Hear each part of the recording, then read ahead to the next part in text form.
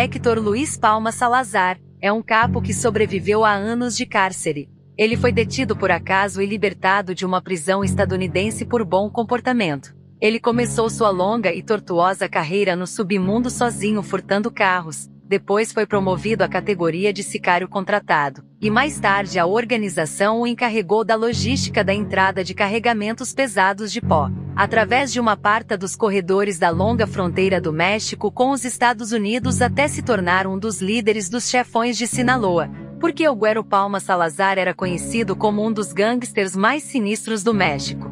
Descubra conosco até o fim deste episódio pois hoje contarei para vocês a história do lendário capo de Sinaloa e seu passado tenebroso.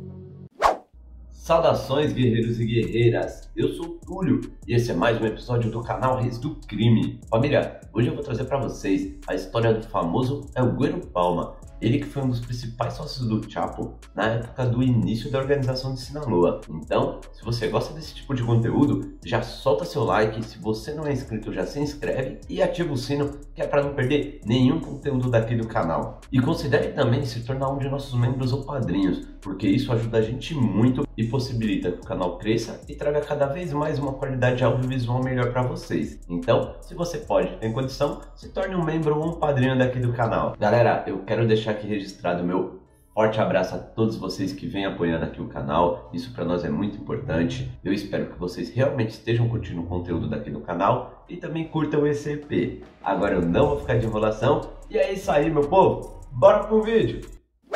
O chefão Héctor Luiz Palma Salazar nasceu em 29 de abril de 1960. Alguns dizem que ele nasceu em 1962. Além deste fato nebuloso, o certo é que ele encontrou o mundo pela primeira vez em Nória de Abaio Mocorito, no estado de Sinaloa, República do México. Quando criança, ele também teve que lidar com a miséria, então ele se sentiu obrigado a abandonar os estudos antes de terminar a escola primária para ajudar sua família.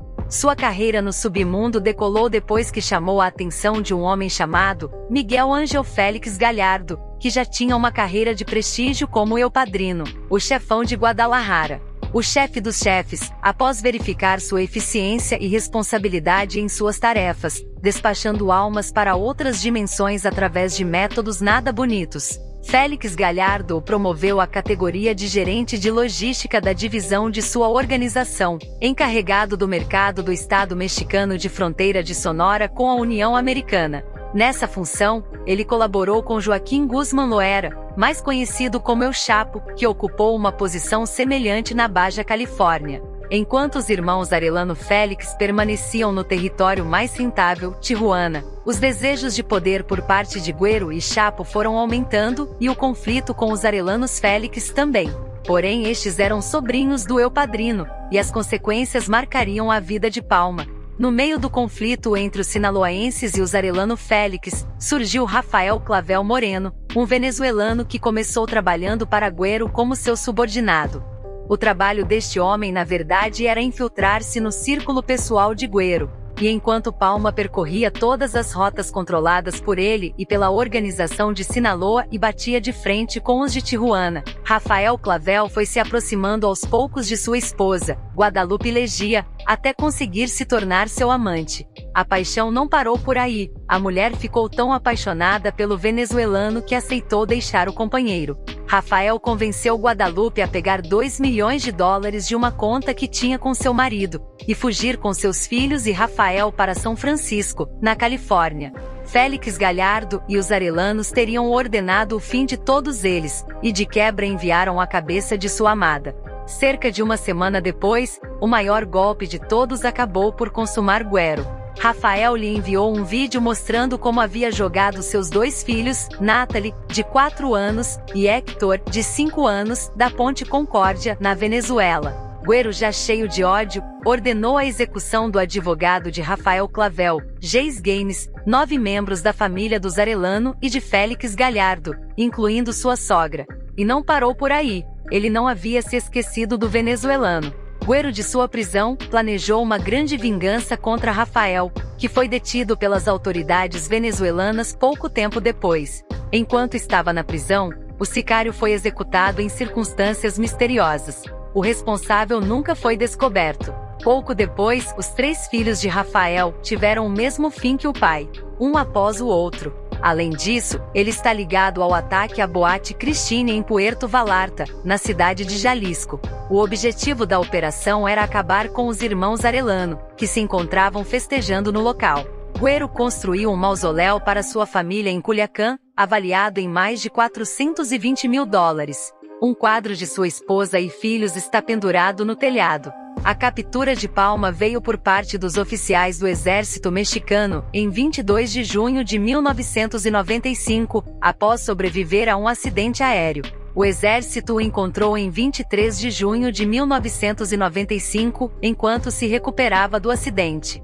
De acordo com relatos da imprensa, agentes da PGR o ajudaram e o levaram do local do acidente para um local fora do alcance de seus perseguidores.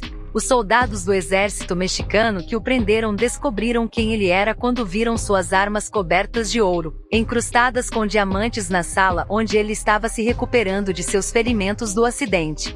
Guerro foi condenado a sete anos de detenção por contrabandear pó. O sistema judicial do México o designou para uma penitenciária de segurança máxima em Ponte Grande, Jalisco, onde ele se reconectou com seu antigo parceiro, Joaquim Guzman, que fugiu do local em 2001. Após cumprir sua sentença, um mandado de prisão para extradição dos Estados Unidos chegou ao México. Desta forma, o grande capo sinaloense não poderia sair da prisão. Até 2007, quando ele seria finalmente enviado para a terra do tio Sam. Ele já estava sob custódia dos Estados Unidos e passaria seus dias nas prisões estadunidenses. Ele completou sua sentença nos Estados Unidos em 10 de junho de 2016. Ele ficou preso por pouco tempo, apenas nove anos de uma pena de 16 anos, graças à sua admissão de culpa pelas acusações feitas contra ele e seu bom comportamento durante seu encarceramento. De volta a 2016, a Procuradora-Geral da República Gomes declarou que seu gabinete estava investigando se havia ou não algum caso pendente contra Palma, Estamos realizando uma revisão exaustiva, verificando todos os escritórios do Ministério Público, disse Gomes. O Estatuto de Limitações expirou. Em alguns casos, os especialistas acreditam que Palma voltará ao contrabando de entorpecentes, mas em um mundo diferente daquele encontrado no início dos anos 90. A imprensa especulava que se ele fosse libertado, ele poderia simplesmente desaparecer no interior do México, assim como Caro Quintero referindo-se ao último grande capo da velha guarda ser libertado. Caro Quintero foi libertado devido a uma aparente má conduta judicial em 2014 e passou anos desaparecido até ser encontrado recentemente em 15 de julho de 2022. Na época, o México estava apreensivo com o retorno de Palma que poderia causar mais uma grande dor de cabeça. Depois que seu avião caiu em 1995, ele caiu essencialmente nas mãos das forças da lei. De acordo com Mike Vigil, ex-diretor da DEA, há muitas pessoas no México, funcionários do governo, que estão perplexos porque acreditam que se os Estados Unidos quisessem Palma, ele deveria ter ficado na prisão aqui por muito mais tempo, disse Vigil e ressaltou. Com base em meus 13 anos atuando no México, acredito que a libertação de Palma resultará em mais entorpecentes nos Estados Unidos e mais brigas no México. O único negócio que Guero Palma entende é o comércio de entorpecentes. Ele é um especialista em contrabando e distribuição disso.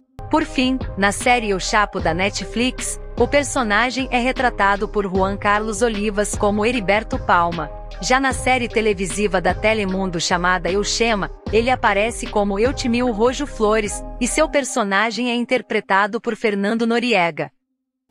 Saudações, guerreiros e guerreiras! Que, que vocês acharam do vídeo? O que, que vocês acharam da história do Guerreiro? Deixa aqui embaixo nos comentários que eu quero saber a sua opinião. Ele de fato teve uma vida bem sinistra, né? Os fatos que aconteceram com ele, com a família dele, principalmente, foi algo que realmente vai ficar marcado na história do México e, consequentemente, na vida do Guerreiro, né? Isso nada mais é do que mais uma prova de que o crime não compensa, família, e que violência só gera violência. E chegou num ponto que o Guerreiro não pôde mais controlar. Bom, eu quero agradecer a todos que ficaram presentes comigo até esse exato momento. Quero pedir mais uma vez para você deixar seu like, porque se você não deixou e me acompanhou até agora é porque você gostou do conteúdo. Então já solta o dedo no like aí. E se você também não gostou, já solta o dedo no like também. Eu quero pedir mais uma vez encarecidamente para vocês considerarem se tornarem um de nossos membros ou padrinhos, porque como eu falei, isso ajuda a gente muito. Eu quero também deixar aqui registrado um forte abraço a todos que ficaram comigo até agora. E é isso aí. Até a próxima!